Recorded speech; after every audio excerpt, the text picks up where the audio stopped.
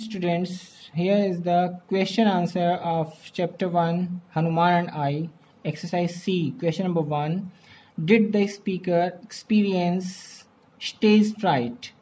Which lines in the text tell you that? Answer is the speaker suffered from stage fright.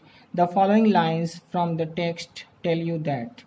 I almost fell on my face. For some time I could not see a thing. The drums were echoing in my ears, and my hands and feet were cold and numb. I opened my mouth to say my lines, but my throat was dry and I could not remember them. Question number two Why did the audience find the last scene funny?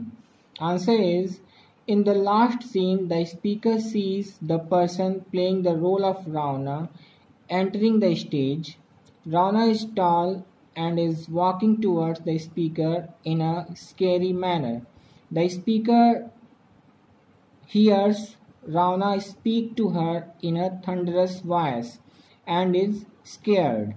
She forgets that it is not the real Ravana and pulls off her mask begging Ravana not to hurt her. The audience finds this confusion very funny. Question number three is Do you think the school play was a success? Why or why not? Answer is the school play would not have been considered a success by the teacher and the cast. The lines forgotten by the speaker and the resulting confusion would have made the students feel embarrassed and ashamed. But the mistakes made by the speaker were funny and made the audience laugh repeatedly.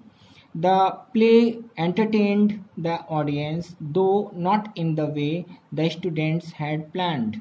For this reason, perhaps the audience would consider the play successful.